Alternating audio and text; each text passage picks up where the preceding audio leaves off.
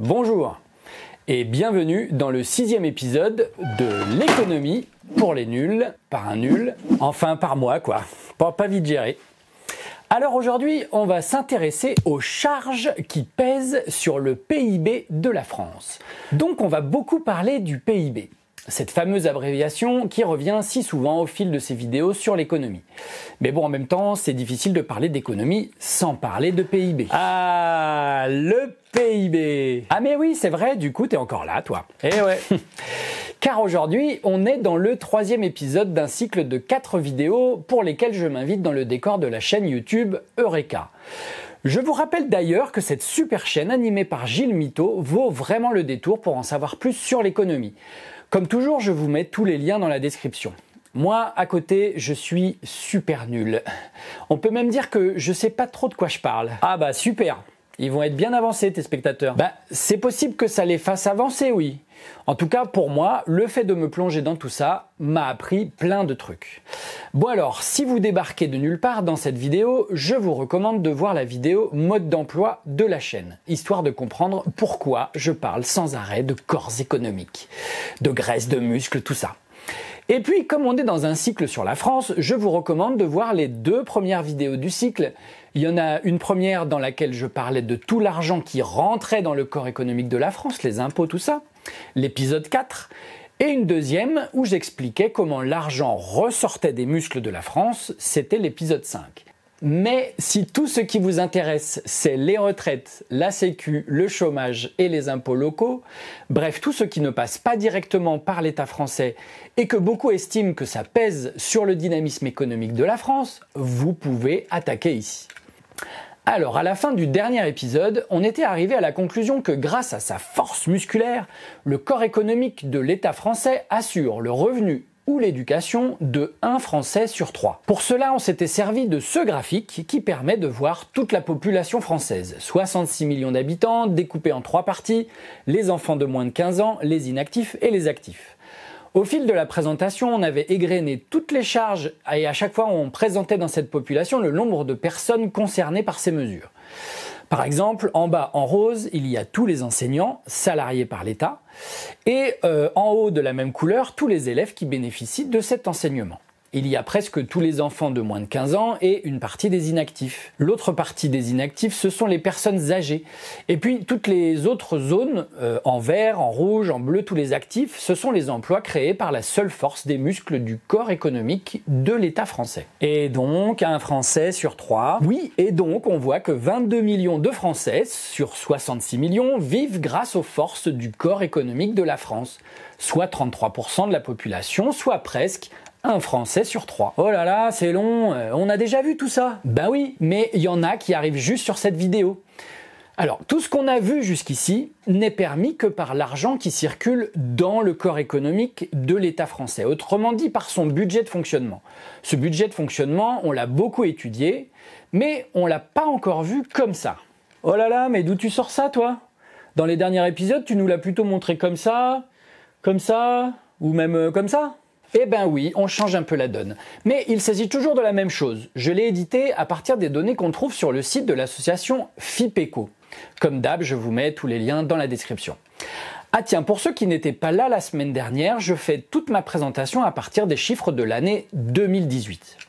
On y retrouve toutes les charges qu'on a évoquées dans le dernier épisode, mais dans des volumes qui permettent d'avoir des notions de valeur les uns par rapport aux autres. Et puis j'ai utilisé des couleurs qu'on retrouve dans la population française.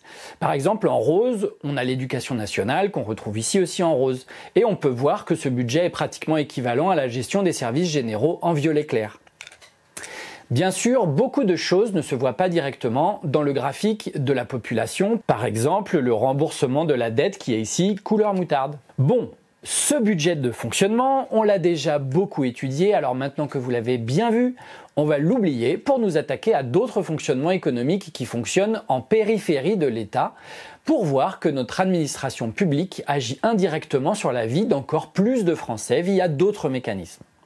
Comme on l'a vu avec les caisses de chômage au début du dernier épisode, de l'argent circule ailleurs que par le biais de l'État français, via d'autres corps économiques dont le fonctionnement est co-administré par l'État français. Si on ajoute l'activité des caisses de chômage dans le graphique de la population française, il faut ajouter 2 800 000 Français pris en charge par le système de redistribution. Et on voit, si on additionne le tout, que l'État assure le revenu et l'éducation de 40 millions de Français, soit 39% de la population. Ah ouais, presque 2 Français sur 5 Et c'est pas fini. Si on rajoute les cotisations retraite, on arrive à 60% de la population française, avec 40 millions de Français. Oh la vache Tu veux dire qu'en payant toutes les taxes et les salaires des Français avec lesquels chacun participe au budget de fonctionnement, les chefs d'entreprise financent le revenu et l'éducation des deux tiers des Français? Et tu m'étonnes qu'ils râlent les chefs d'entreprise? Eh oui, ça râle, ça râle, tout le monde râle en France. D'autant que l'évolution de la population et de l'activité économique française fait qu'il y a de plus en plus de retraités et de moins en moins d'actifs pour cotiser dans ces caisses. Donc il commence à y avoir pas assez de cotisants pour verser toutes les aides. Pour la gestion des retraites, c'est comme pour la caisse d'allocation chômage. Il y a plusieurs caisses pour gérer plusieurs secteurs d'activité. En plus de la caisse du régime général, la plus importante, il y a la caisse des exploitants agricoles, la caisse des salariés de la SNCF, celle des artisans, celle des fonctionnaires de l'État. Bref, il y en a 35 en tout et elle gère 42 régimes différents. Chacun de ces régimes a des règles de fonctionnement différentes liées aux spécificités à des mesures historiques, à la pénibilité ou à la démographie de ces métiers. L'État tente depuis plusieurs années d'homogénéiser ces règles qui créent des inégalités entre secteurs d'activité. Mais en s'attaquant à ce chantier, qui s'appelle la réforme des retraites, l'État essaie surtout de rassurer les employeurs qui estiment qu'ils payent trop de charges. Ah ouais, en gros, ils disent que s'ils payaient moins de charges, ils pourraient embaucher plus de monde. Et ça, Macron, il y est super sensible. Oui, mais il n'y a pas que lui qui y soit sensible. Il y a tous les gens qui ont voté pour lui ou qui ont soutenu sa candidature, et puis autour d'eux beaucoup d'économistes, d'éditorialistes et d'autres mouvements politiques qui partagent ce point de vue. Mais euh, euh, tous ces gens, ils ont bien conscience qu'avec cette politique, il s'agit d'enrichir les plus riches et d'appauvrir les plus pauvres. La plupart sont surtout très inquiets par le fait que l'État soit chaque année plus déficitaire que l'année d'avant, comme nous le verrons dans la prochaine vidéo consacrée aux dettes et à la création de capital de la France. Il faut savoir qu'en 2018, sur les 325 milliards d'euros de l'ensemble de ces retraites, il y avait un déficit de 2,9 milliards d'euros. Pour l'instant, ce genre d'ajustement se régule grâce à des réserves financières prévues à cet effet. Ça ne pèse donc pas sur les dettes de l'État. Cette caisse d'amortissement de la dette sociale, la CADES, n'existera plus à partir de 2024 et c'est aussi pour éviter de mettre en place un autre mécanisme de régulation que le gouvernement se lance dans ces réformes. Il s'agit chaque année d'anticiper le rééquilibrage de ces retraites dans une situation démographique et économique de plus en plus inquiétante. La polémique autour du projet de réforme est surtout l'idée de faire une retraite à points. Il s'agirait d'indexer la valeur de la pension sur l'ensemble de la carrière et non plus sur les dernières années d'activité comme c'est le cas actuellement. Dans chaque corps de métier, il y a une évolution professionnelle liée à l'ancienneté. Avec la réforme, elle serait gommée pour calculer une retraite moyenne pour qu'elle ne coûte pas trop cher aux entreprises qui cotisent. Dans ce projet d'uniformisation de toutes les retraites, il y a en débat la disparition des questions de pénibilité du travail, les salaires les moins élevés étant souvent associés à plus de pénibilité. Euh, il n'y a pas aussi l'idée d'indexer les retraites sur l'inflation? Alors oui, mais en fait c'est déjà le cas en France depuis 30 ans. L'idée avec la réforme, c'est que les points seraient indexés sur le salaire et à partir du nombre de points, le montant des retraites serait établi en fonction de l'évolution de la valeur de ce point, la valeur de ce point étant, elle, indexée sur l'inflation. La date de mise en œuvre de la réforme des retraites n'a pas encore été décidée clairement. En mars 2020, l'adoption des projets de loi ordinaires est passée au 49.3 et celui des lois organiques au vote de l'Assemblée. On parle d'une mise en place progressive jusqu'en 2025. Mais Dès l'année 2019, donc bien avant les réformes, le Parlement a déjà voté une augmentation des retraites très en dessous de l'indice d'inflation. Alors que l'inflation était de plus 1,8% cette année-là, l'État a économisé 2 milliards d'euros en opérant qu'une augmentation de 0,3% des pensions de retraite. Il n'y a pas de petite économie comme on dit, mais tout de même, ça laisse imaginer la suite avec la réforme des retraites. Chaque année, la valeur du point risque d'être définie au bon vouloir des administrateurs et il y a le risque que l'augmentation des retraites finisse par être très loin de celle de l'inflation.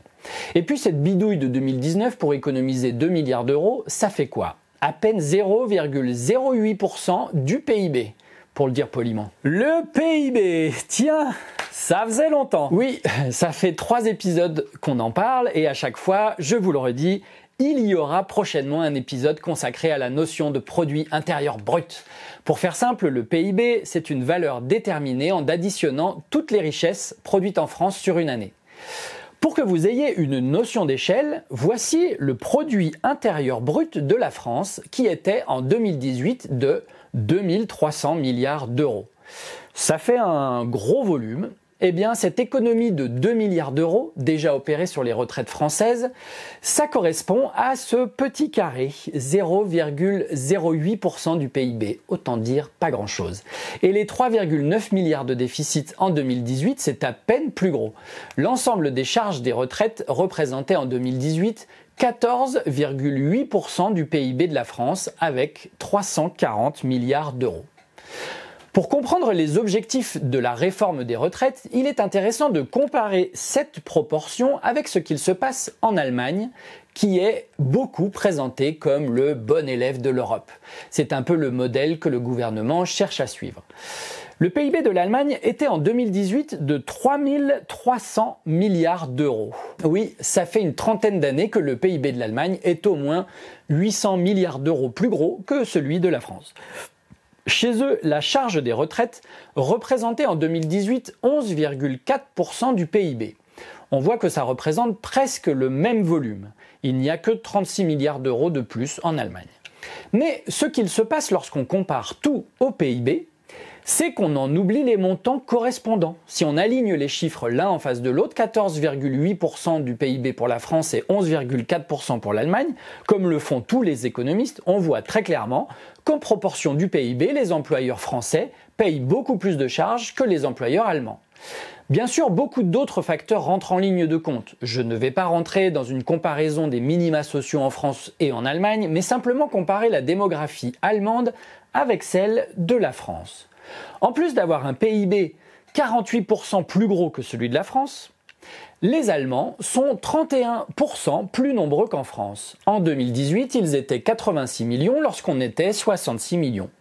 De toute évidence, ça explique en partie cette différence de PIB. Mais il n'y a pas que ça, bien sûr, sinon ce serait directement proportionnel. Les Allemands seraient 11 millions d'habitants de plus. Donc, on retrouve en rose les jeunes qui vont à l'école, en bleu les retraités et en gris les actifs qui financent les deux premiers et plein d'autres choses. Ce qu'on peut noter, c'est que par rapport à la France, il y a 16 millions d'actifs en plus et seulement 1 million de retraités en plus. Donc en France, 3 actifs financent un retraité, là où en Allemagne, 2,5 actifs financent un retraité.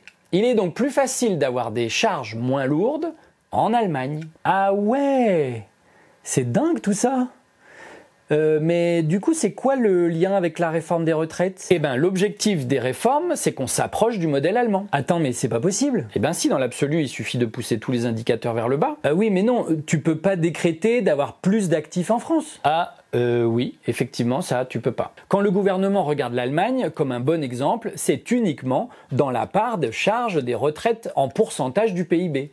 Sauf que si on arrivait au même pourcentage d'endettement que l'Allemagne, on perdrait 101 milliards d'euros. Autrement dit, 7200 euros par an sur chaque retraite. Ah ouais, alors non. Hein. Je crois pas que nos retraités seraient heureux d'avoir 600 euros de moins que ce qu'ils touchent chaque mois. Bon, on ne va pas résoudre la question des retraites, mais on a compris que la question est complexe et qu'elle suscite des inquiétudes auprès des syndicats et de nombre des futurs concernés par cette réforme. Moi compris. Ce que je vous propose, c'est de reparler de cette notion d'inflation sur laquelle est indexée la retraite actuelle dans une prochaine vidéo. Si on veut vraiment faire le tour de toutes les charges qui pèsent sur le PIB, il faut vraiment qu'on enchaîne là parce que on en a encore deux à voir, la sécu et les impôts locaux pour la sécurité sociale, c'est comme pour les caisses de retraite ou les caisses d'allocation chômage. Il s'agit de corps économiques différents de l'État français avec ses propres agents qui coordonnent sa mise en œuvre, mais dont les grandes lignes de fonctionnement sont tout de même administrées par l'État. Comme pour les caisses de retraite ou de chômage, il y en a une par régime. Le régime général, le régime social agricole, le régime des indépendants ou les régimes spéciaux comme ceux des militaires, des agents de la SNCF ou des professions libérales. Chacune des caisses a des modes de cotisation et des règles de redistribution différentes.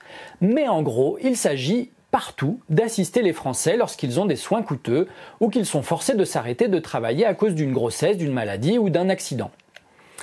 Alors bien sûr, je ne peux pas parler de la sécurité sociale sans parler de ce qu'on appelle communément le trou de la Sécu. Le déficit de ces caisses n'est pas aussi bien régulé que celui des caisses de retraite qu'on vient de voir. Il y a chaque année plus de prestations sociales que d'argent qui rentre dans ces caisses et ça alourdit chaque année la dette de l'État. Chaque année, ce trou de la Sécu est de plus en plus profond car les déficits de chaque année s'additionnent. Comme on peut le voir sur ce graphique, publié dans un article du magazine Les Échos, ce déficit a monté d'un coup suite à la crise des subprimes de 2008, car il y a eu plus de chômage, donc moins de cotisants. On était alors à un déficit de 23 milliards d'euros annuels. Et on voit aussi que depuis cette crise, le déficit est redescendu régulièrement ces dix dernières années jusqu'à atteindre 2 milliards d'euros en 2018. Le seul truc, c'est qu'avec l'immense crise du coronavirus, on est redescendu dans un déficit rarement atteint avec 41 milliards d'euros. Il faut dire qu'avec la crise du coronavirus, il y a eu beaucoup plus de charges exceptionnelles de la Sécu et une augmentation folle des chiffres du chômage. Ah tiens, on va faire apparaître les charges de la Sécu dans le PIB de la France pour que vous puissiez visualiser tout ça. Le plus gros volume au centre, c'est tout ce qui est lié à la santé et la maternité.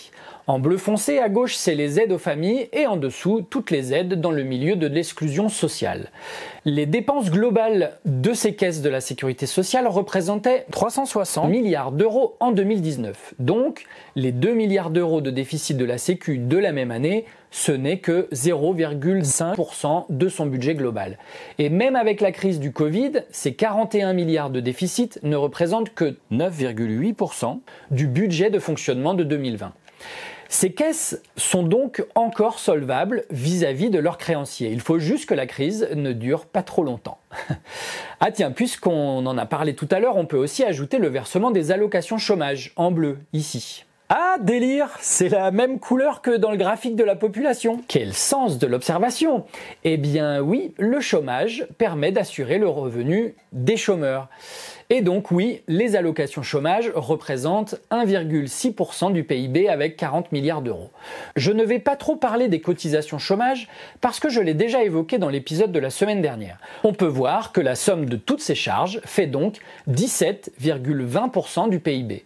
Si on ajoute les charges des retraites qu'on a évoquées tout à l'heure, on arrive à un total de 32% du PIB. Ah bah oui, ça pèse sur l'activité économique. Et oui, et c'est pas fini. Au début de la vidéo, je vous avais montré le budget de fonctionnement de la France, qu'on avait vu en long, en large et en travers dans le dernier épisode. Eh bien, lui aussi, il pèse sur l'activité économique à hauteur de 23% du PIB. Donc si on fait la somme de toutes ces charges, on arrive à 55% du PIB. Ah ouais, dingue 55% de tout ce qui est produit comme richesse en France par chaque année dans la redistribution sociale Ah, c'est dingue. Mais attends, euh, c'est quoi le trou euh, au centre du budget de l'État là? Ah, très bonne question. C'est les impôts locaux. C'est tous les aménagements territoriaux dans les communes, les départements et les régions. Et tous ces aménagements nécessitent de la main-d'œuvre. Des architectes, des maçons, des charpentiers. Le BTP, c'est 1 million d'emplois en France. Et chaque année, 40% des contrats de fabrication concernent le marché public. On peut donc ajouter encore 300 000 emplois ici. Et par ailleurs, dans les muscles des collectivités territoriales, il y a au moins 200 000 emplois qu'on n'a pas encore comptés pour l'entretien des espaces verts, des routes et des voiries. On arrive donc à un total de 500 000 emplois permis par ces impôts locaux. Toutes les charges qui s'additionnent permettent donc de faire vivre 61% de la population française. Mais bien sûr, toutes ces charges ont un coût. Et si on additionne le budget de ces impôts locaux à tout ce qu'on a déjà vu, on arrive à un total de 56% du PIB. Ah non, mais moi, si je dirige une boîte, ça me rend dingue direct. Ah, mais c'est clair, les grands comme les petits acteurs du dynamisme économique de la France disent c'est un scandale Nous sommes 40% des Français et nous portons les charges de fonctionnement de 60% de toute la population française Et en un sens, c'est même bien pire. Si on compte toutes les petites, moyennes et très grosses entreprises, ça fait 4 millions d'entreprises en France, soit presque autant de chefs d'entreprise. Si on ajoute les 500 000 exploitants agricoles, soit presque autant de chefs d'exploitation, et les 1 500 000 auto-entrepreneurs, en tout, en France, il y a 6 millions de chefs d'entreprise, soit 9% de la population française qui porte les charges de tout ce que permet le système de redistribution. Dans le tableau de la population, là, je vais les mettre en couleur or. Hein, c'est un peu le carré VIP. Waouh C'est énorme Ces quelques Français portent à eux seuls les charges de 91% de la population française. Vu comme ça, on comprend qu'ils cherchent à s'extraire de ce fonctionnement ou à faire baisser leur participation. Mais cette façon de voir est biaisée ce sont tous les actifs qui participent au budget global, soit un Français sur deux. Ah bah oui, mais tous ces actifs, ils ont un emploi, soit grâce à ces entrepreneurs, soit grâce aux impôts, et donc indirectement grâce à ces entrepreneurs. Oui, sauf que la richesse de ces entrepreneurs, ce sont leurs salariés qui la construisent. À quoi ressembleraient ces entreprises sans leur main-d'œuvre, sans leur savoir-faire, sans le réseau et le bagou de leurs commerciaux? Sans leur chef d'équipe, leur comptable, leur gestionnaire de ressources humaines. Les personnes qui sont sensibles à cette façon réductrice de voir les choses doivent comprendre que chacun fait sa part, que chacun participe à son niveau à tout ce système de redistribution, que chacun fait avec la force et la morphologie de son corps économique que l'enrichissement qui est taxé n'existerait pas sans toute l'infrastructure qui le permet. Qu'en voulant baisser les charges du PIB, ils se tirent une balle dans le pied car ils ont besoin de la bonne santé de la société française pour faire perdurer leur dynamisme économique. Tout ce système fait de la France un espace stable dans lequel bon nombre de fortunes étrangères viennent investir car ce système inspire la confiance et assure la stabilité économique des entreprises. C'est tout ça qui construit notre dynamisme économique. Vouloir voir le dynamisme économique de la France qu'à partir des chiffres excédentaires des grandes entreprises est une erreur de perception. Ce serait oublier tout le maillage social, solidaire et culturel qui permet ce développement. Ce serait oublier toutes les routes, tous les modes de transport ou de communication auxquels l'État participe, au développement et à l'entretien. Ce serait oublier l'éducation et la formation de tous les futurs salariés de ces entreprises. Ce serait oublier tous les retraités qui participent aussi à la circulation de l'argent et donc au dynamisme économique des entreprises françaises. Ce sont tous ces fonctionnements de redistribution qui fabriquent le cadre de l'épanouissement des grandes, moyennes et petites entreprises. Alors bien sûr, tout ne marche pas de façon géniale. Chaque année, nous avons un déficit public de plus de 100 milliards d'euros. Entre ce qui rentre dans la bouche du corps économique de la France et ce qui en ressort, dans les muscles, plus de 100 milliards d'euros n'existent que parce que l'État s'endette. Depuis le traité de Maastricht, ce déficit public est limité à 3% du PIB pour chaque pays de la zone euro et on voit donc qu'on est légèrement au-dessus avec un déficit qui représente 4,1% du PIB. Et comme ça a lieu chaque année depuis plusieurs années, la dette totale de la France atteint des sommes colossales. Elle était de 2300 milliards d'euros en 2018. Attends, tu veux dire que la dette de la France, c'est l'équivalent de son PIB La France est aussi endettée que la somme de toutes les richesses créées en France en une année? Eh oui, 100% du PIB de dette publique. Mais la dette de la France, on en parlera dans le prochain épisode, et tu verras que la Grèce ne prend pas tant de place que ça dans le corps économique de la France. Il est intéressant tout de même de revenir rapidement à la comparaison avec l'Allemagne, où la dette publique représentait 61,2% de leur PIB en 2018, soit un total de 2000 milliards d'euros, soit juste 300 milliards de moins que la France. Lorsqu'on met à niveau les PIB, tous à 100%, on voit une nette différence. Mais si on remet les PIB à l'échelle des proportions qu'ils présentent en milliards d'euros, on se rend compte que l'Allemagne et la France ont presque le même volume d'endettement. Bon, par contre, il ne faut pas éluder que le remboursement de cette dette fait que cette dette publique descend régulièrement en Allemagne depuis 2012, comme on le voit ici en bleu, là où la dette de la France ne fait que grossir au fil des ans de façon continue ici en rouge. Pour expliquer cette différence, il ne faut pas chercher du côté de l'évolution du PIB, parce qu'ils évoluent à peu près de la même façon comme deux lignes parallèles, mais plutôt dans la gestion des comptes publics, qui sont devenus excédentaires en Allemagne à partir de 2011 là où les économies que la France essaie de mettre en œuvre ne font que freiner un déficit qui reste un déficit. Bah, vu comme ça, on comprend mieux la frénésie autour de la République en marche, hein, euh, dans tous les médias de droite ou de gauche. Oui, Sauf que du coup, on fait comme s'il n'y avait qu'une façon de faire face au déficit public. Ah, parce qu'il y en a d'autres des solutions. Eh bien, pour résumer, dans le projet de la République en marche, tout est basé sur l'allègement des charges pour dynamiser le marché du travail. C'est la politique que l'on voit en France depuis 30 ans et on voit le résultat dans les hôpitaux, dans les classes surchargées et dans le manque de moyens dans la justice ou la police. Si on compare ce que pèsent toutes les charges réunies en France et celles d'Allemagne, on voit bien qu'elles sont quasi identiques en milliards d'euros. Oui, mais il y a plus de monde en Allemagne, donc ils sont plus économes. Alors oui, il y a plus d'habitants, mais surtout plus d'actifs. Les charges d'éducation sont presque les mêmes parce qu'il y a presque autant d'argent des deux côtés. Et la plupart des autres charges ne dépendent pas directement du nombre d'habitants. On voit d'ailleurs que dans la plupart des domaines, elles sont presque identiques. Si ce n'est dans le soutien des affaires économiques, ou dans la gestion des collectivités territoriales, où l'Allemagne participe beaucoup moins que la France. Si on aligne les PIB, comme le fait la République en marche, comme tous les gestionnaires libéraux de droite comme de gauche, on voit bien que la somme de toutes les charges est bien plus importante en France qu'en Allemagne.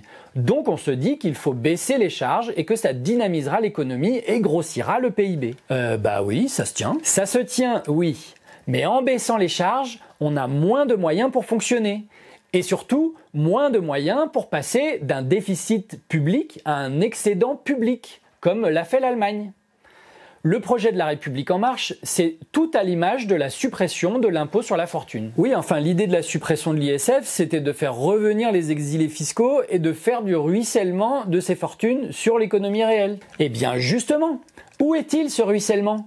Les riches n'ont jamais été aussi riches. Alors d'accord, mais avec tout ça, tu nous as toujours pas dit quel autre moyen on a pour s'attaquer au déficit public. En fait, la vraie alternative, c'est le retour au plan. Le plan mais euh, de quoi tu parles? À la planification qui s'est construite après-guerre pour reconstruire la France. Ah oui, tu parles d'un plan pour reconstruire après l'état de guerre décrété contre le coronavirus Alors non, cette idée existait bien avant qu'il y ait la crise du coronavirus. Mais ce que je vous propose, c'est d'aborder ce sujet qui risque d'être long dans un épisode qui devrait s'appeler Trois options politiques pour s'attaquer au déficit public.